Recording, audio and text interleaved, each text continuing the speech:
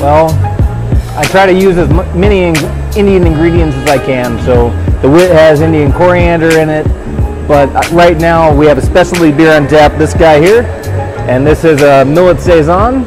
So we use uh, ragi in the vein, and it is alcoholic, nice and bubbly, nice and refreshing.